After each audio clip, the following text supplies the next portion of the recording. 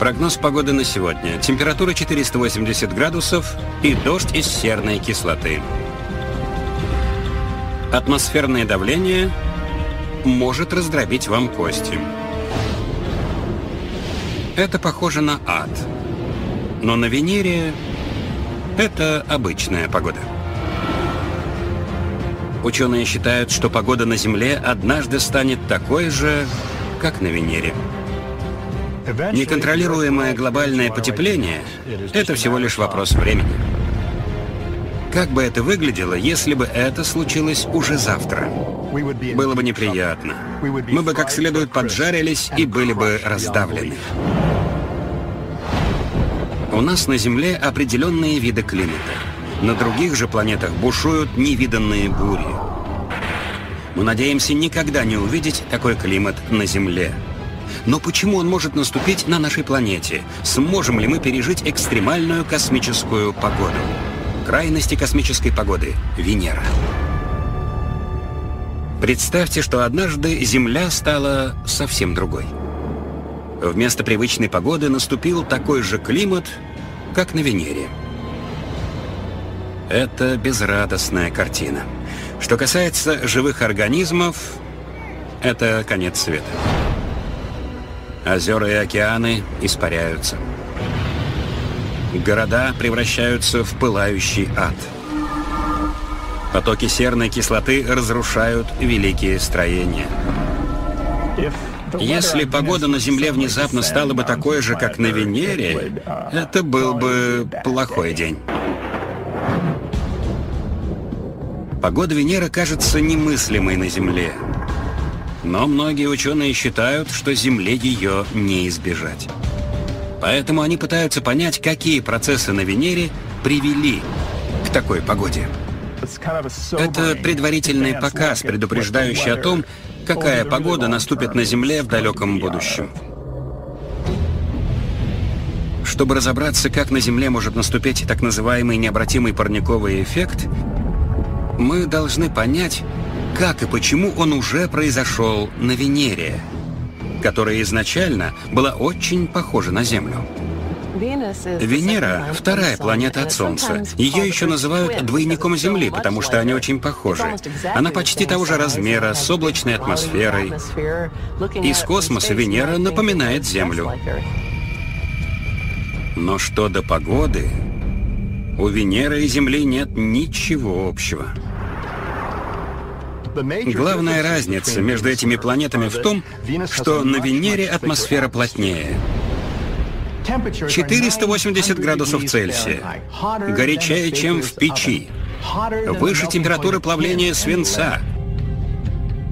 Вы можете подумать, что на Венере так горячо просто потому, что она ближе к Солнцу. Но если переместить Землю на то же расстояние от Солнца, на котором находится Венера, средние глобальные температуры поднимутся незначительно. Очень горячо не будет, и для жизни угрозы не возникнет. Климат на Венере намного горячее климата Земли из-за плотности атмосферы. Воздух на Земле — это легкий газ, а на Венере — это густой горячий суп. Важнейшее значение для климата на Венере имеет тот факт, что атмосфера там в сотню раз плотнее, чем на Земле. Этот факт определяет все особенности венерианской погоды. Атмосфера такая плотная, что идти сквозь нее все равно, что идти через воду. Двигаться в ней было бы очень трудно. Через венерианскую атмосферу тяжело перемещаться. Хотя ветры на Венере слабые, даже легкий бриз вызвал бы проблемы. Ветры на Венере движутся со скоростью всего несколько километров в час. Но поскольку плотность атмосферы на Венере в 95 раз выше, чем на Земле, даже при такой небольшой скорости ветер имеет в 95 раз больше силы. Вся атмосфера движется как река. Ветер в 10-15 километров в час собьет вас с ног. Будучи на Венере, вы бы пожаловались на высокое давление. Вы бы также оказались под другим давлением – смертельно опасным. Давление на Венере такое же, как на глубине 800 метров в океане. Дайверы не ныряют так глубоко, потому что это смертельно опасно.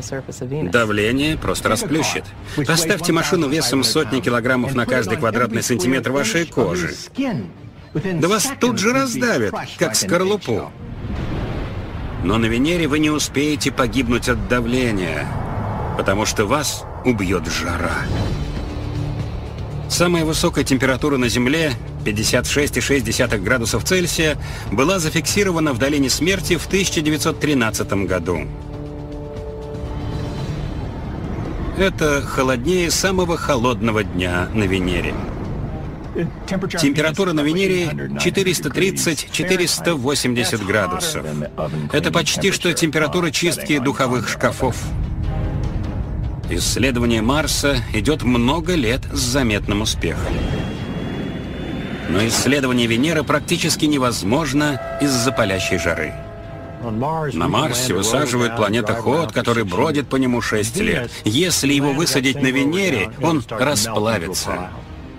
Спайки на электронике просто превратятся в жидкость и растекутся. В отличие от Земли, где климат разнообразен, на Венере нигде не скроешься от этого пекла. Поскольку атмосфера на Венере такая плотная, условия на поверхности почти везде одинаковые. Нет разницы между экваторами и полюсами, ночью и днем. Даже когда на Венере ночь, раскаленные камни светятся от своего собственного тепла. Можно увидеть это тусклое красно-оранжевое свечение, вызванное жарой. Что бы случилось на Земле, если бы температура выросла до венерианской? Когда температура будет достигать 480 градусов Цельсия, города во всем мире начнут тлеть. Брэдбери был прав. Бумага возгорается при 451 градусе по Фаренгейту. Небоскребы превратятся в многоэтажный ад. Крайние помещения нагреются больше всего, потому что они будут напрямую контактировать с 500-градусной печью снаружи. Внешние стены зданий, возможно, обрушатся. Сталь размягчается и теряет прочность при 300 градусах Цельсия. Мир охвачен огнем. Все здания, от домиков до небоскребов, горят и рушатся.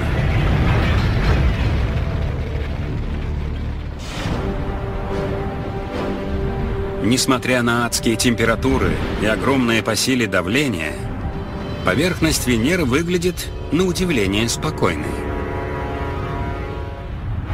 Но если вы подниметесь в облака, постоянная жара и давление сменятся резкими скачками от жары к холоду. Венерианская погода напоминает жесточайшую бурю на Земле. Облака наверху венерианской атмосферы подвержены суперротации. Они обходят вокруг Венеры за 4 земных дня со скоростью 300 км в час, как ураганные ветры на Земле. Круговорот на Венере поддерживается контрастом холода и жары. Когда Солнце освещает ту сторону, где день, на другой стороне нет солнечного тепла. Этот температурный дисбаланс и заставляет такие сильные ветры двигаться по планете. Когда эти ветры достигают полюсов, они создают удивительное погодное явление – Циклон с двумя центрами. Облака, находящиеся в суперротации, имеют неприятную особенность, против которой зонд бессилен. Облака на Венере состоят из серной кислоты. Нам они, скорее всего, покажутся малоприятными. Вряд ли бы вы полетели через них на самолете с открытыми окнами. Особенно, когда из них идет дождь из чистой серной кислоты.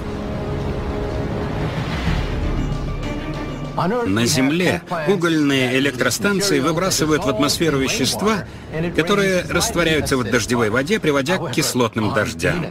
Но нам и не снились кислотные дожди Венеры. На Венере так жарко, что кислотный дождь испаряется, не достигнув поверхности. А что бы случилось, если бы венерианские дожди серной кислоты прошли на Земле?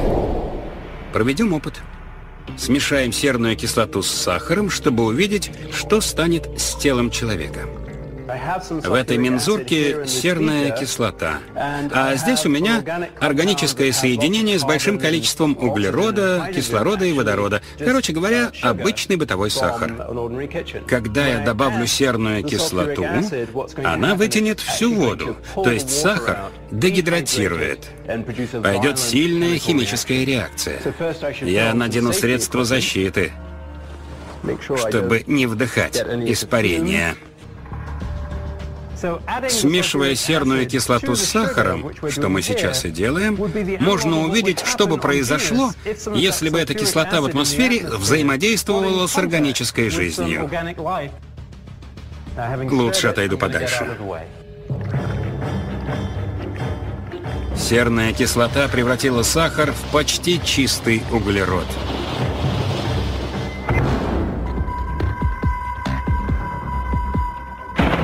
Если бы на Земле прошел дождь из серной кислоты, живые организмы превратились бы в угольные массы. А как же наши города? Париж, Франция. Что если под разъедающий дождь попала бы железная конструкция Эйфелевой башни? Серная кислота плюс железо, в результате получится сульфат железа. Это вещество хрупкое, зернистое, может кристаллизовываться, оно не обладает прочностью железа. Вокруг Эйфелевой башни вы увидели бы легкое зеленое облачко из-за того, что так быстро льется много серной кислоты. Затем вы станете замечать первые признаки повреждений в арках, на которых держится все сооружение. Вы увидите небольшую деформацию. Заклепочные соединения начнут выходить из строя. Башня просядет под собственным весом и рухнет.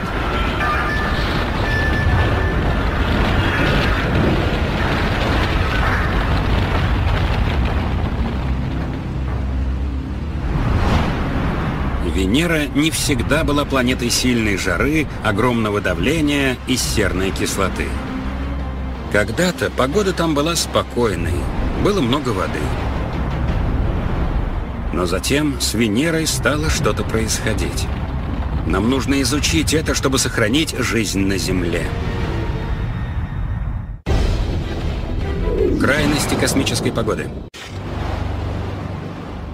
На Венере сначала тоже была вода. Пока климатический катаклизм не иссушил ее.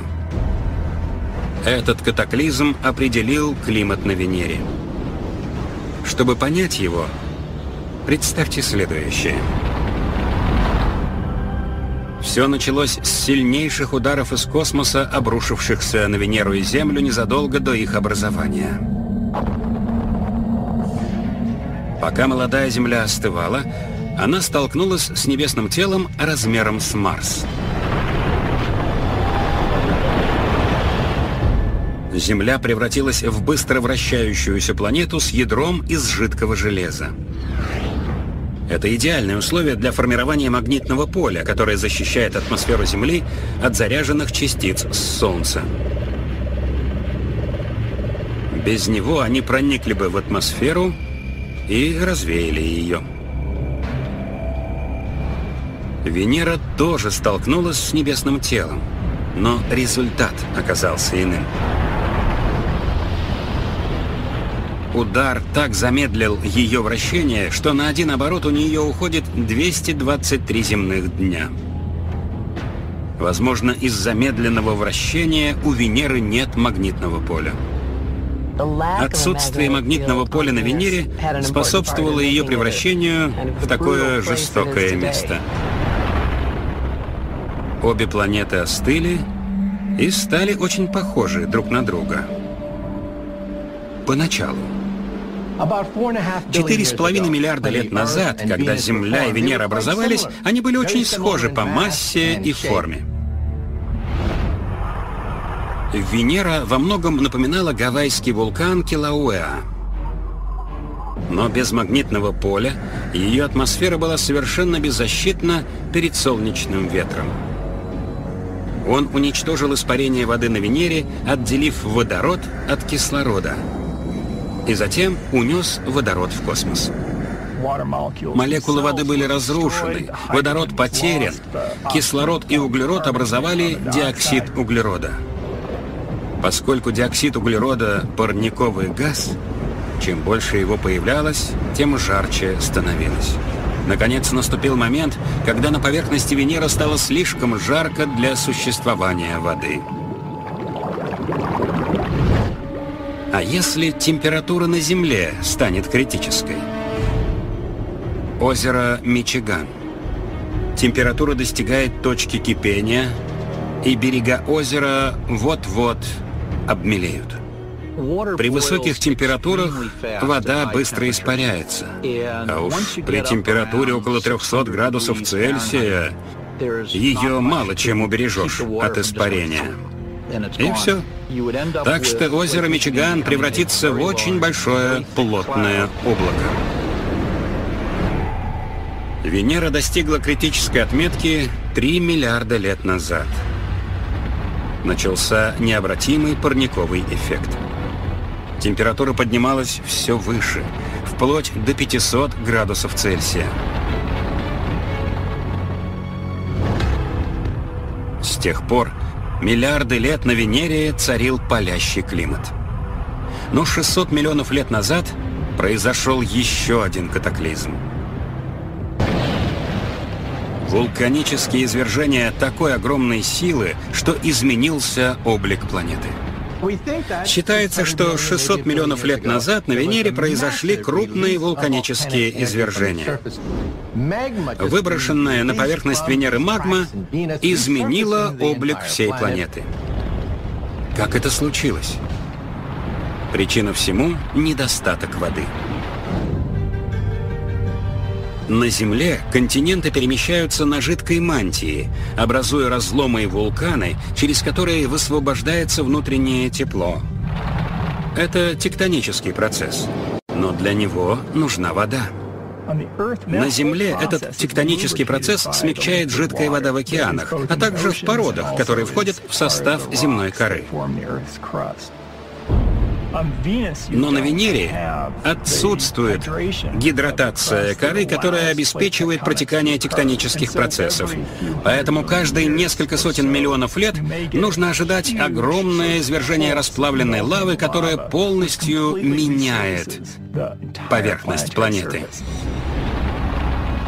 Изменилась не только поверхность планеты ее климат сделался еще более жестоким. Когда по всей планете извергается лава, в атмосферу выбрасывается громадное количество ядовитого газа. Этот катаклизм сделал Венеру такой, какой мы ее сегодня видим. Говорят, что Венера — худший вариант того, что может случиться с Землей, если глобальное потепление приведет к необратимому парниковому эффекту. Но даже если мы решим проблему потепления, в следующие 100 миллионов лет Солнце будет разогреваться все больше.